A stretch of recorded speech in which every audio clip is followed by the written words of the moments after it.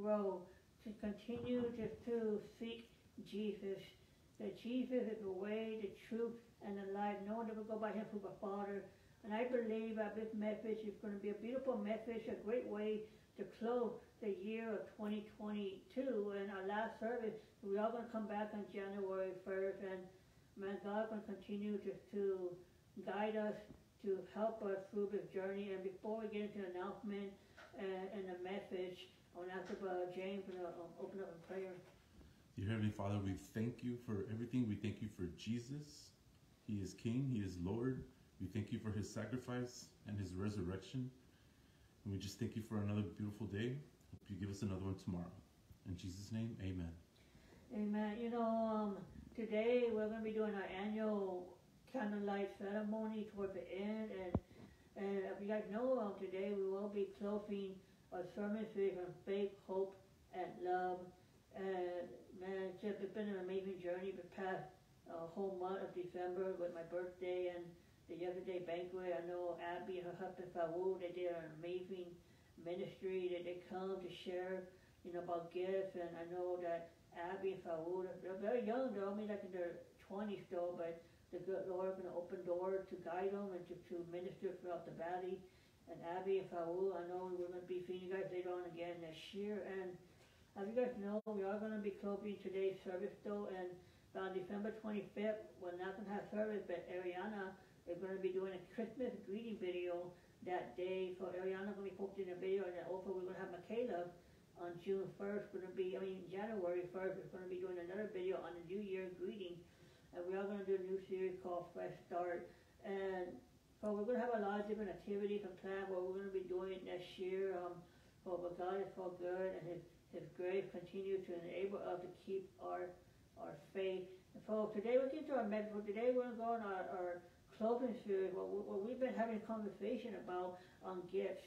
You know, everybody likes to receive a gift. It can be wedding, birthday, anniversary, special occasion. You know, when you receive that gift, the first thing in your mind, you start getting curious. You know, with that gift, you know, you want to open that gift. You know, it, it, might, it might be something meaningful, or it can be something about, you know, the thoughts that count. And I really want to focus on this, on message and this treasure and, and, and we get ready to close this series. But today we're going to be talking about the gift of love.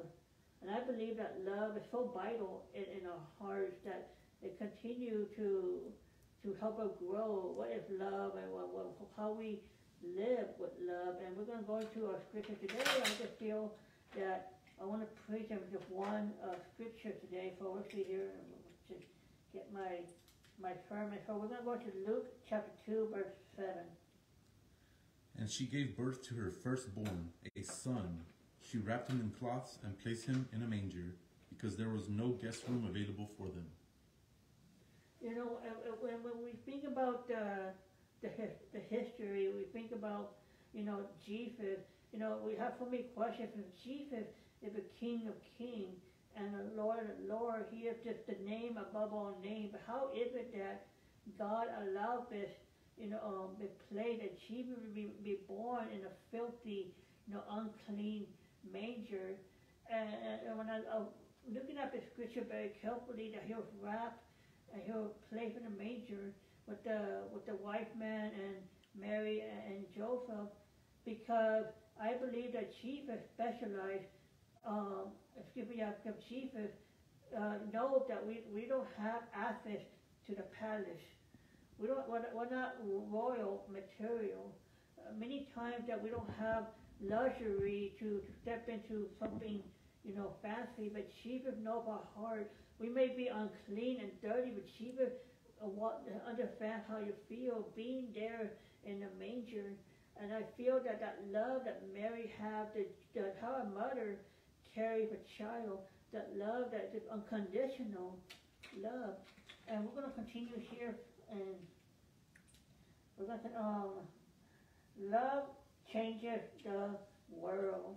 Love changes the world. And I believe that God specializes in hidden treasure. Every one of you have a purpose. See, when God used individual people for his purpose, see, for example, God hid Joseph in the prison. God hid Moses in a, in a Midian. God hid Elijah in a cave. God hid John the Baptist in the wilderness. And, and see, God used those individual men for his purpose, for the love that what he, he gave for all people. Maybe you're here right now listening to me though, like maybe you're in a place right now, you're, you, you're feeling unhappy, you're feeling like, why is this happening to me? But, but we trust in him because love changes the world. See, a lot of times that we go through scenarios in life, we, we go through circumstances that we can't comprehend, but yet God understands our heart. God understands because the Bible says in 1 Corinthians chapter 2 verse 9 that no eyes have seen, no ears have heard, no hearing my can't conceive what God prepared for those who love him. And Romans 8 37 that will all be favor more than conquered for him that loves us. 1 John 4 18 that perfect love will cast out fear. We don't need to be afraid. Mary and Joseph, when, they brought uh, the baby into the manger, they were not afraid. They were living with faith. They were, they were, living, they were living with hope. And I believe, young people, this is an opportunity. But when we reflect that the Christmas season, I know Christmas, you know, is about, you know, gifts and families and gathering, you know, it's about, you know, um, time to spend with loved ones. But we won't forget the true message of Christmas that Jesus, uh, who was born, the day that we celebrate, the day that the King of Kings and the Lord and Lord who came to to to affect us, to adopt us into the family. And let's go ahead and and, and continue here. Now, um, James, we John three fifteen. This is how we know what love is. Jesus Christ laid down his life for us, and we ought to lay down our lives for our brothers and sisters. See, the Bible says in Romans chapter 5, verse 8, But God who demonstrated his great love towards us, when we were yet sinners, Christ died for us. That's why in Romans chapter 10, verse 9, that if we confess our mouth that Jesus is Lord, believing that he risen from the dead, that we are saved. Imagine that being a baby in a manger, that living for 30 plus years, knowing that, that you know, Jesus gave his, his life, his heart for us. The Bible says in John 15, 13, a greater love have no one in bed who lay down his life for his friends. Because I believe that when we seek his purpose and, and, and we love one another, that his love is, great in our heart. And today I want to give some point. I want to talk about the, I want to be talking about the four uh, keynotes in my sermon. And I think we're going to be focusing on the letter R. Because Jesus is my redeemer. Now I have a beautiful dream that I was sitting in the in the table, and I was sitting with uh, Pastor Mark and his son Nathaniel. When I was sitting at the table and and I was looking around this, you know, and, I don't know if was like a hotel, like a room, and, and I, I sent a text message to Pastor. I had a dream, Pastor, a beautiful dream. But we're sitting down and we started singing, "You are my Redeemer," and I thought Pastor he he took a flute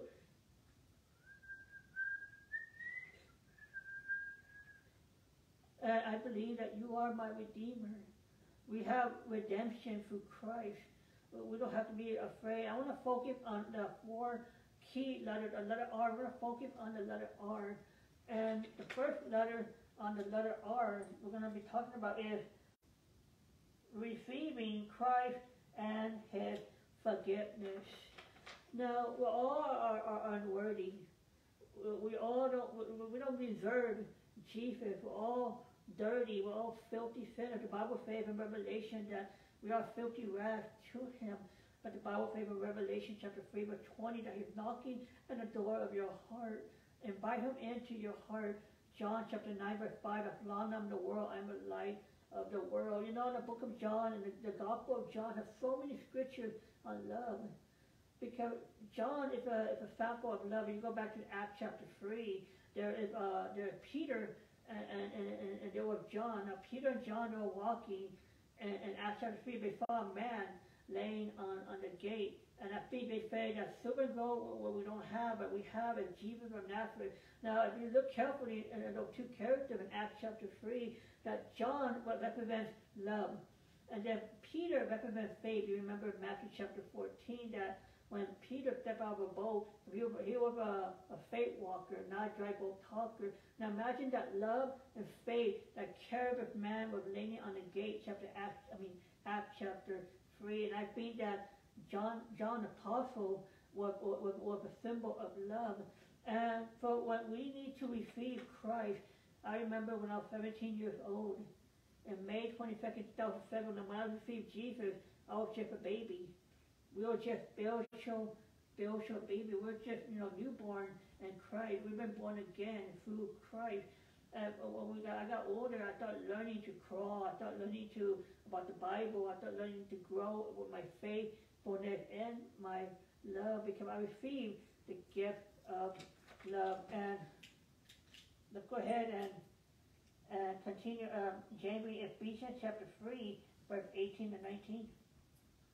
May have power together with all the Lord's holy people to grasp how wide and long and high and deep is the love of Christ, and to know this love that surpasses knowledge, that you may be filled to the measure of all the fullness of God.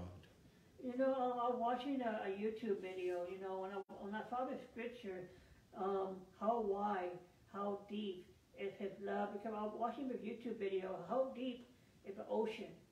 And I thought of animation video, it, it described how, okay, it talked about at 2,000 feet, there was a blue whale, and then 4,000 feet, and then it can continue to 20,000 feet. Did you know, if you look at the Mount Everest, the, the, the, the tallest mountain, Mount Everest is so tall, even the ocean, if you flip Mount Everest upside down, even the ocean will still continue to be deeper and deeper because there's this unknown thing. That God's love is so great that His love is deeper than the ocean. His love is higher than the sky. I remember when I was at High School, uh, it was like a soccer game, and we saw a plane. It was way up in the sky. How a plane be up to like 38,000 feet. Because God's love is higher than in the sky. We can't understand God's love. We can't. Because the Bible says in Isaiah that His His wave is, is, is different from our wave. His thought is higher than, than our thought.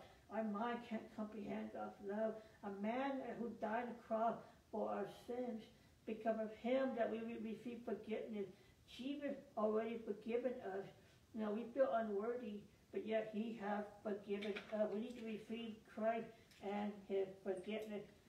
And James John 3, 16 or 17. For God so loved the world that he gave his one and only Son, that whoever believes in him shall not perish, but have eternal life. For God did not send his Son into the world to condemn the world, but to save the world through him. You know, if we think about the scripture, Pastor Rudy talked about this this morning, that a lot of time people, you know, misinterpret that scripture. For God so loved the world. Another key word, love. He gave his only begotten Son. Whoever believes, or the second word, believe, shall not perish, but have an everlasting life. Because we can receive an everlasting life. I remember in John chapter 20, verse 29, Jesus, after he got resurrected, Jesus went into a room he found a man of doubting named Thomas. And Thomas said, if, if you, Lord, let me dip a, a finger in your hand. But Jesus said that blessed those have not seen me, but yet believe. We, we believe, we are believers in Christ. And but we need to receive Christ and his forgiveness, though, because this world is fading away. But yet we're going to turn our eyes upon Jesus. The fullness of joy of earth is going to grow strangely dim. He is the light and glory and, and, and and, grace. And let's, let's continue uh, reading here. Um, share God's love. To share God's love. Now here the greatest commandment here with uh, here in John chapter 13, verse 34, 35. A new command I give you, love one another as I have loved you. So you must love one another. By this everyone will know that you are my disciples if you love one another.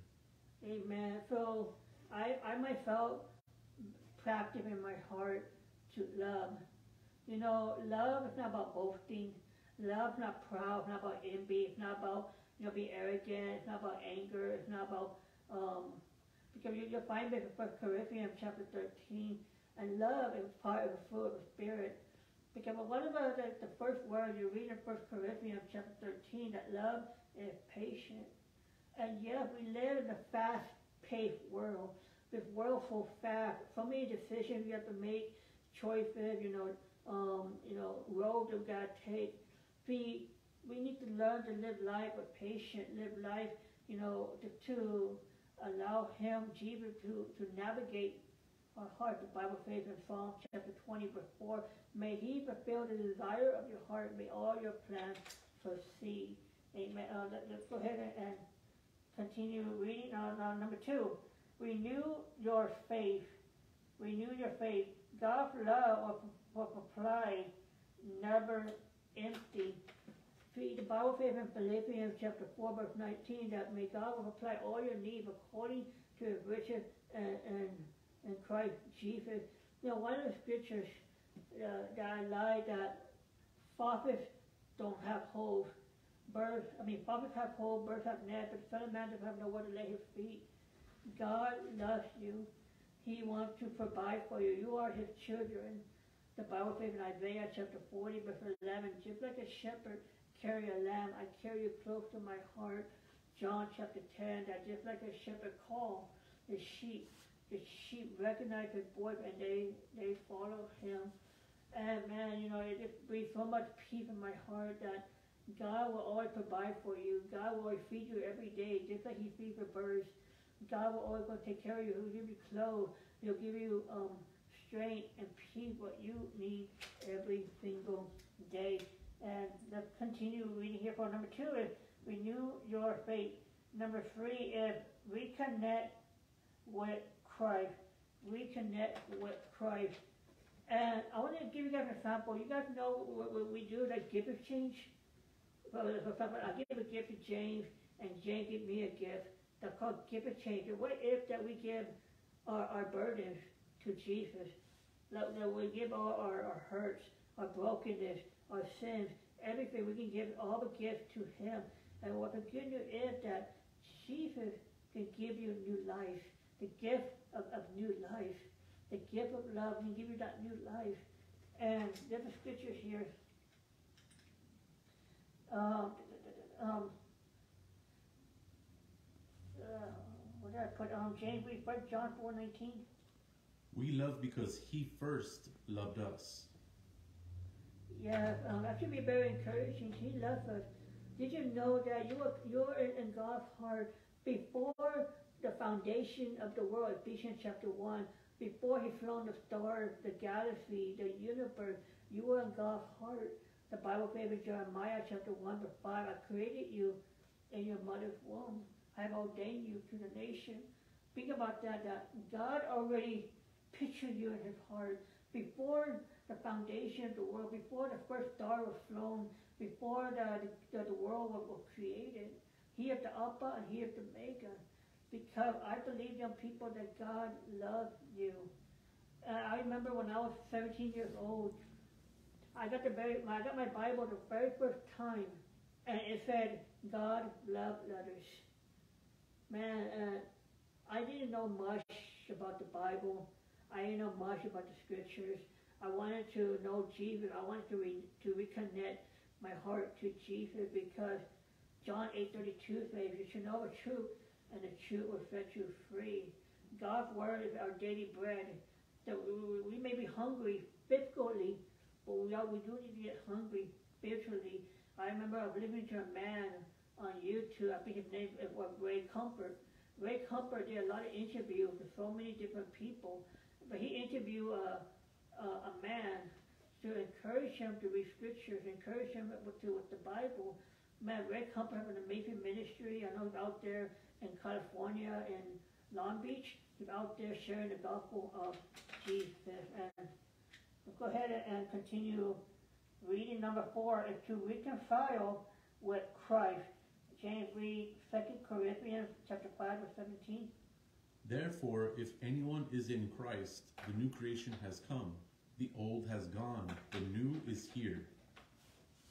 I want to encourage you guys for a, bit, a bit season of Christmas, a bit season of a message of love, the gift of love, for you to know Jesus, for you to renew your, your faith, to get re- reconnected, to receive Christ and His forgiveness, to reconcile your relationship, because we have redemption through Him, through the blood, through Jesus.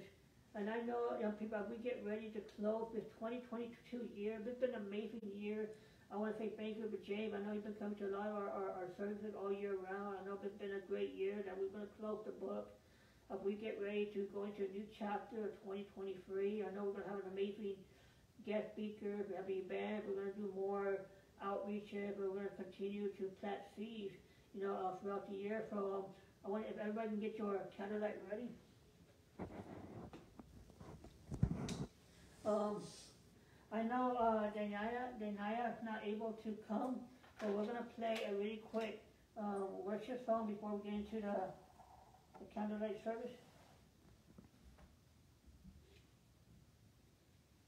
Let's see here.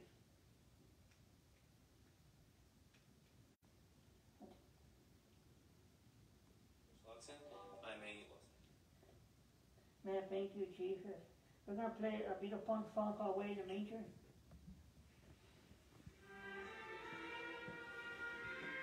Amen. Thank you, Jesus.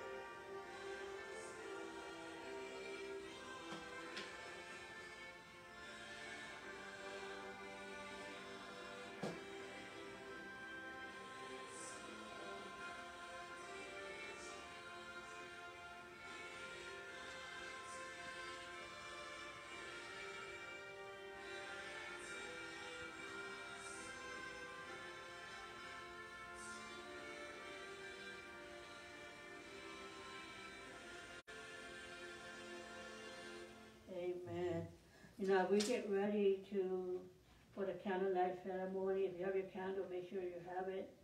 Um, this is uh, the most um, beautiful gift that we can receive. It's the gift of Jesus. The gift of Jesus. I know we've been talking about the gift of hope, faith, and love, but the most important thing is the gift of Jesus. You know, we wouldn't be here today without Jesus' sacrifice on the cross. And I know that uh, we're going to be with him one day. We're going to be with the presence of the Lord one day. Me, uh, me and you, James, we're going to be in the presence of the Lord one day. We're going to be at home. The Bible says in Philippians chapter 3, verse 20, that our citizenship does not belong here. We, uh, we, we're going to be at home with Jesus. Man, we're going to be uh, eternity. And there are going to be two songs we're going to sing. The first song we're going to sing is uh, how great thou art. I believe young people, and the sound of my voice, as a choir, we're going to sing to the Lord. And sing, my food, my Savior God, to thee, how great thou art, how great thou art, and sing, my food, my Savior God, to thee, how great thou art, how great thou art.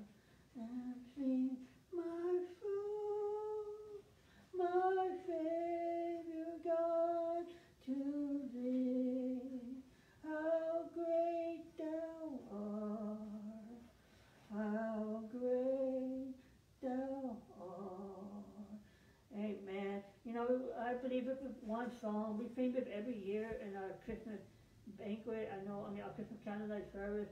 I want to say a very special thank you to Alfonso Gonzalez and man, we're gonna sing. I believe we're gonna sing the song and, have it just one word.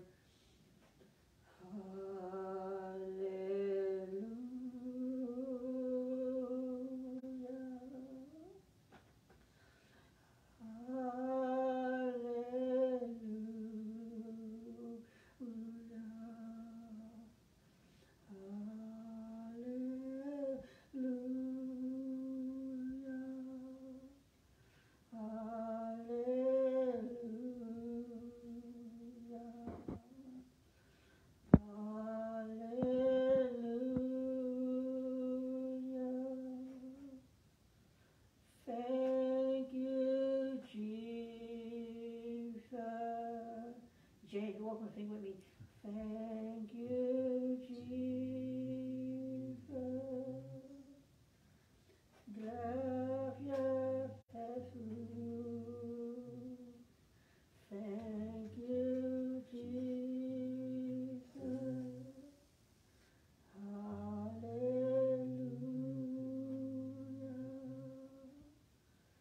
Hallelujah.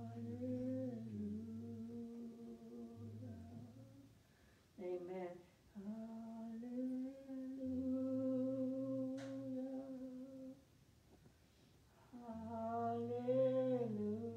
Hallelujah. Thank you, Jesus. Thank you, Jesus. Amen. As we get ready to close this year of 2022, uh, we reflect everything, and I know that God is just great in mercy, and I know that He's going to continue to pour out His grace, to pour out the love that God has. Amen. And declare in Jesus' mighty name. Amen. Have you guys received that message with me today? I want to say thank you so much, everybody, just to join up in our candlelight service. Uh, thank you so much for this amazing 2022 year. I know Jane, you've been with me for a whole year, and man, uh, Jane, let me ask you a question though, uh, to make it very special one. What have you learned? What, do you- what do you think about this 2022 year of the Life of the Church? that it's a it's it's a blessing that you know you can you know you can go through scripture and actually you know get into the scripture instead of you know you know th- these are the things that we should be going over and, and really trying to learn better. It it uh it shows us you know that that's what you know that you know this is God. This is you know this is his love letter to us and we should we should dive into it more. You know, but just to do a little summary, it's been a lot of challenges though, you know. When I first started with church, Life Purpose, in 2020, and even in 2021, it was very hard looking for people. I know Stephanie, she was here for 10 months to a year, and then James, you came over, and man, we're going to continue to keep pressing forward. We're going to continue to live with hope and, and peace. Because the Bible says, I don't know, uh, James, can you- can you read that scripture, Romans 8:28? Romans 8 28 yes Yeah, you can go ahead and read it. All Can you see it or no? uh, not really there's a glare but I'll get it for you real quick hold on Romans 8 28 Yeah, uh, scripture for the church. Hold on, uh, uh, you found it? you found it? Yes, Romans eight twenty eight is, and we know that in all things God works for the good of those who love Him, who have been called according to His purpose. Amen. And Jane, I want to have you to honor to close the prayer of 2022, our last service though. Can go ahead and prayer. Okay, dear Heavenly Father, we thank you for this year, the path that you have put us on, and removing any obstacles or any things that get in our way, Lord. We pray that the next year will be just glorious, and it's going to be in Your name. Whatever that you have for us, guide us, show us the way, and just you know give us peace, give us uh, you know new beginnings, and just you know let us know that you know we that's our one thing in this world is to love you and spread the gospel that Jesus Christ he did do that sacrifice on Calvary for us and it's all in his name we thank you for everything Lord remember, Christmas is not about gifts and all that stuff. It's about Jesus. And all in His name. Amen. Amen. Well, God bless you guys. Have a wonderful evening. I'll see you guys on January 1st. Take care.